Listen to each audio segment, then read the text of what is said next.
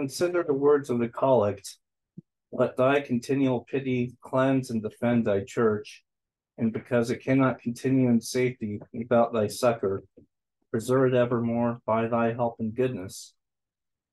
When the collect talks about the church, just like last week, it is not about talk, it is not talking about buildings. It is talking about us, each of us, all of us, and together. We need God's help or pity to keep the group of us together following his will. For without his help, the Holy Ghost, we are doomed to utter failure.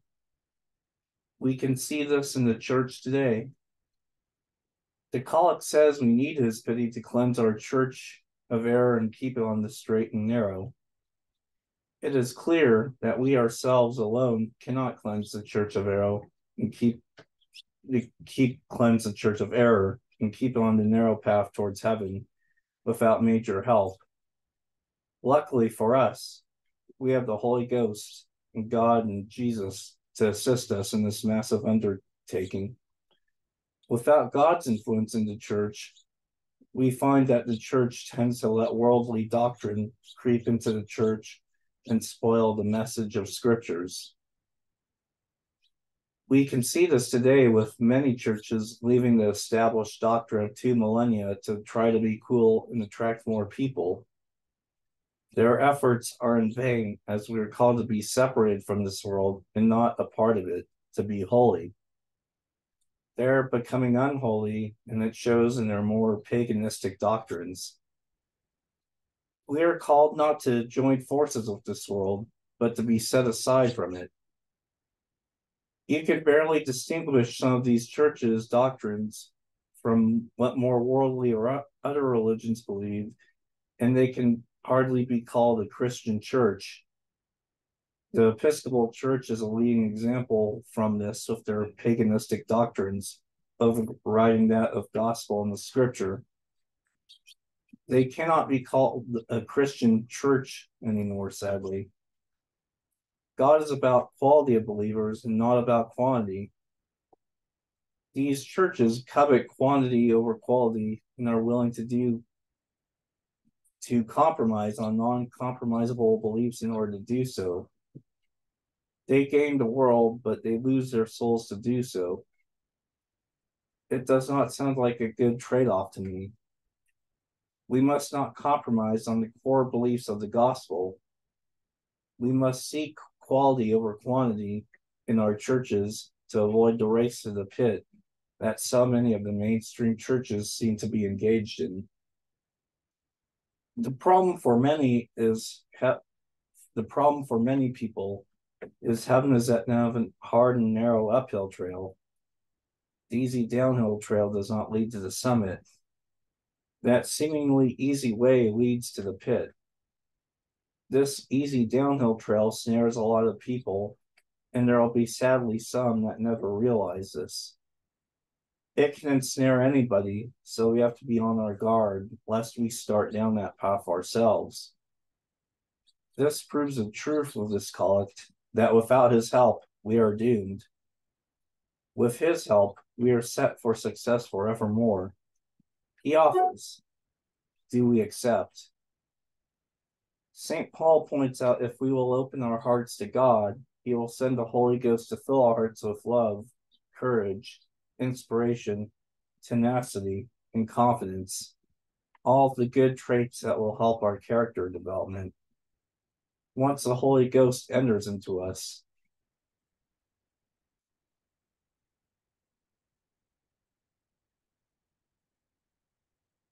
once the Holy Ghost enters into us, we will know the full dimensions of Christ, the height, the width, and depth of his love for us. And this fullness will fill us to our content and we will want to spread that good news and love of him to others. Without the Holy Ghost, we are doomed. But with the Holy Ghost acting in us, there is nothing that we cannot accomplish for him.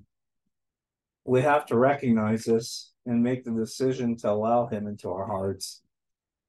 The key is that we have to make that decision. God can't make that decision for us, only we can. And It is up to us to open our hearts to Him and allow Him in. Only then can we get all those positive character traits mentioned earlier. Allowing His love for us to enter into our hearts is part of the good news. The good news is that He died for us so that we might have eternal life, a happier life here, and a happier life after our life here. But the key is we have to first open our hearts to God. We ca- cannot have any of these positive characteristics if we do not allow Him in. We have to be humble and realize we cannot get through life without these characteristics, which means we cannot have a good and successful life without His help. He offers all these things for our benefit, so we will be successful for Him we have to accept this offer by opening our hearts to Him. If we will open our hearts to Him, our ears will hear the command, Arise. When we rise, we rise with the confidence of immortals and can conquer any obstacle. We will have died in our old sinful ways and be resurrected like our Lord in a new spirit in a new birth of everlasting freedom. But without an open hearts, our ears will never hear the command directed to our soul arise. We will be dead to eternity. There are none so deaf as those who will not hear. All Jesus asks is that we follow him. Is all follow him. But words mean something. The word follow is very important we have to trust that God is like a perfect flight instructor. And if we follow his instructions at the right time, we'll keep ourselves from physical and spiritual harm. Like the flight instructor, he is here to keep us from mentally and spiritually harming ourselves. If we will listen to his instructions, we will keep our mental and spiritual selves intact and be a lot happier for it. We need to recognize who has the ability power, the perfection, leadership, and have that trust to say, You lead, I'll follow. I believe that is what Jesus expects from us in regard to our, our entire life. We may get out of position or even go lost wingman on the odd occasion, but he expects us to do our very best to follow his lead and stay in position. Hard to do if your eye is not padlocked on him. As ministers of our Lord, we have a similar responsibility to those who would follow us here on earth. And we have to work even harder, for created by a perfect God, we are imperfect creatures of free will, a problematic combination. We have to strive to do better than most, as we are in a position where people will be watching our actions more carefully than other people we must strive for a correct attitude, heading stability and predictability in our path, so we can be followed towards that final destination, marking a successful mission. We must always be check, checking our navigational instruments of the Holy Scriptures and our navigator, the Holy Ghost, to ensure we are on the right heading. We have to be willing to act for them to show that we truly do have faith, not just say that we have faith. It is a lot easier to say than do, that is for sure. When St. Luke relates the story of the widow of Nain, it is more than just a simple miracle. In those days, a widow with one son had little, a widow with no son was in deep trouble. Jesus took compassion on her and also took the opportunity to make his power evident. He came to the bier and touched it, saying, Young man, I say unto thee, arise. The young man arose and began to speak, whereupon Jesus brought him to his mother. Not surprisingly, news of this event was spread forth around throughout all Judea and throughout all the region round about. Like the young man, we are dead to eternity until we hear the command, arise. If we hear and act on that command, we have eternal life, just like the young man it starts right then. Eternal life doesn't start when you take your last breath, it starts when you take your first breath. Think through your life like it'll be eternity and plan your actions accordingly. Also, please take note Jesus acted.